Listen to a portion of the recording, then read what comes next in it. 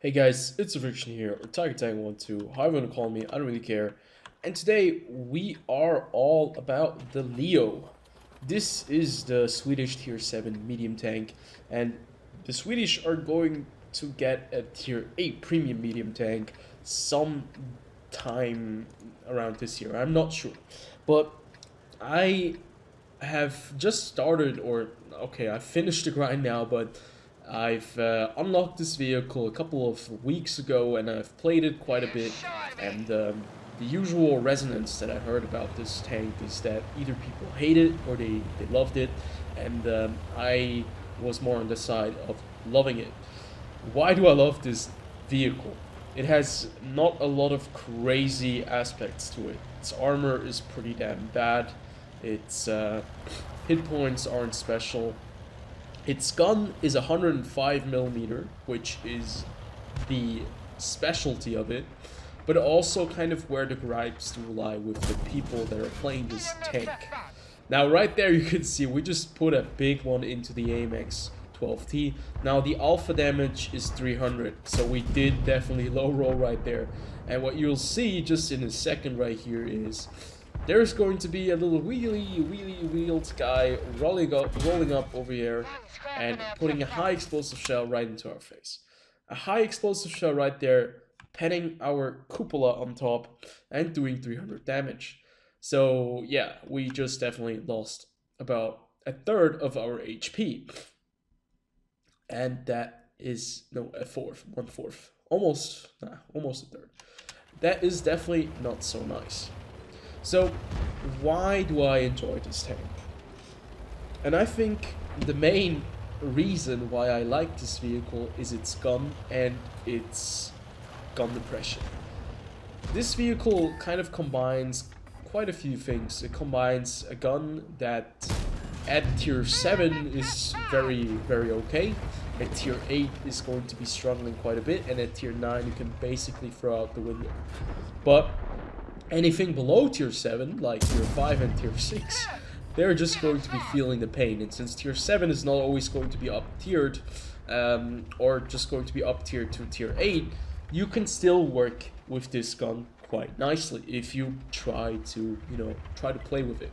So what I've noticed is that although the gun only sports 150 5 millimeters of penetration, you can really work with that.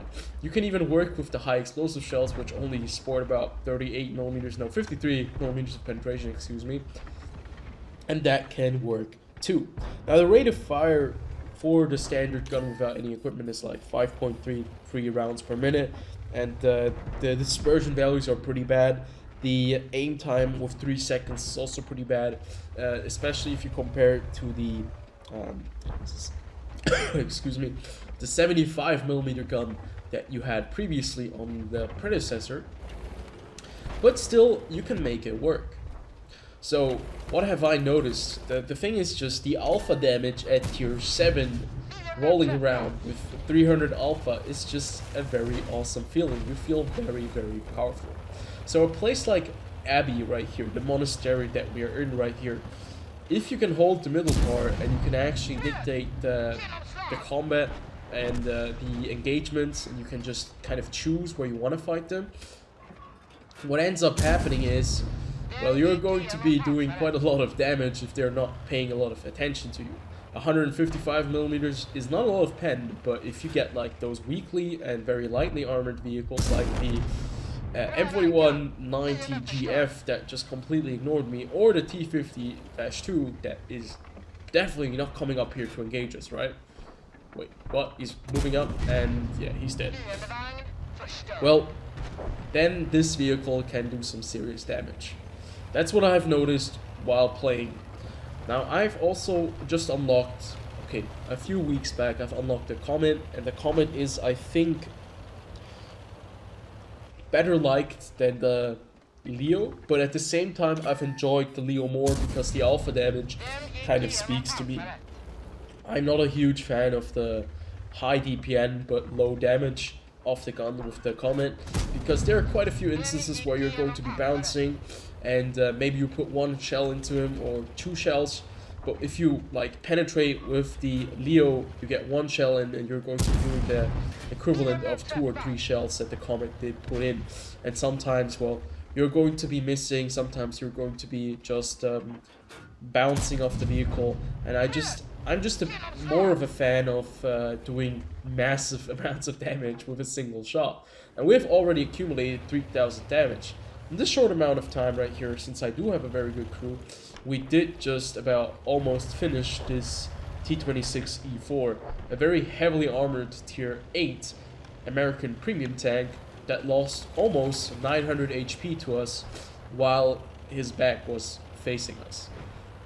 So this vehicle certainly can dish out the pain if it wants to and if you get the right position. That is also one of the reasons why I like it. It coupled with having no armor, okay, armor would, would have been nice, but I think then the balancing would have been quite difficult. But having this coupled with great mobility, a vehicle that can really get around the map without any issue, and then having such a gun with great gun depression, like right here, if I stop it right here, you can see that we can aim down. I'm gonna just use the free cam real fast. We can aim down at him while he's down here and he just drove into the wall. He was definitely going to die. And our profile is tiny. Now, I know, uh, I think it's about, I'd have to check, I think it's about 8 degrees of gun depression or or 10 degrees. That might be that might be true as well. But the gun depression allows you to be quite um, competitive in such areas. So right here, we have a tiny profile. What ends up happening, obviously, is he drives into the wall, and uh, since the French wheeled vehicles are very, very badly um, at maneuvering in tight-knit spaces, what ends up happening is that we do finish him off because we have that crazy amount of alpha damage. Now, if he would, uh, if we would have been playing the Comet, um, he probably would have gotten away because there would have been at least two shots for us to take him out. And because we were able to put one nice big round into him, he died pretty damn quickly. So right now, at this moment of the match, I've noticed that my team is not faring too well. now I've I had had I I had things to shoot at for the entirety of the seven minutes that we have played this game now. So I never really had time to switch a flank to try and go out and help these guys by being there immediately. One of the downsides of this vehicle right here, you can see it. Rate of fire is not the best. 5.3 rounds is not going to be able to compete with the Italian tier 6 or tier 7 version uh, of the medium vehicles and it's going to be quite difficult for us to uh, to win this match with this rate of fire and with only 32 HP remaining.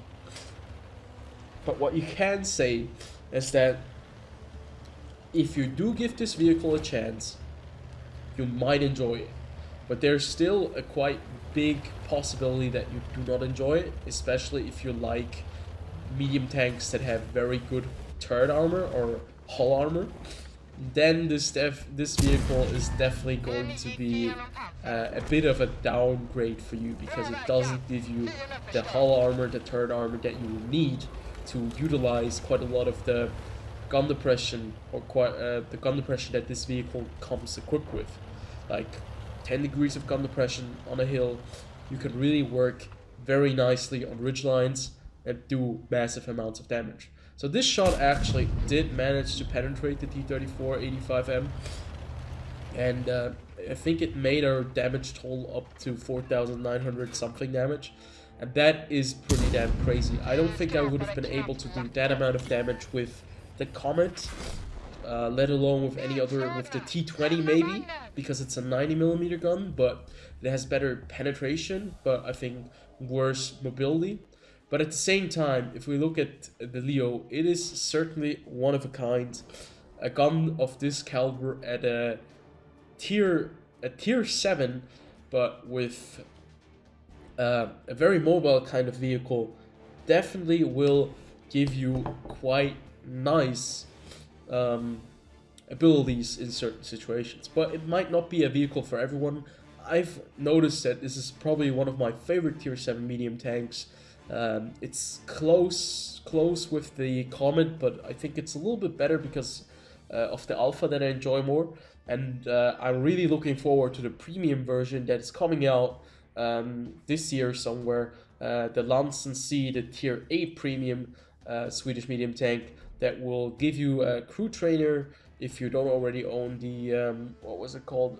The Stridswagen 81 or something like that. Because they'll be releasing tier 9, tier 8, and tier 10 medium tanks for the British, uh, the Swedish tech tree someday. So that's going to be exciting, and I'm going to be looking forward for that. And I hope you guys enjoyed this video. I know it was a short one, but I thought I'd just show you guys some nice gameplay that I had in the Leo and uh, talk a little bit about why I enjoy this tank so much. And uh, yeah, I'll see you guys in the next one. Peace out.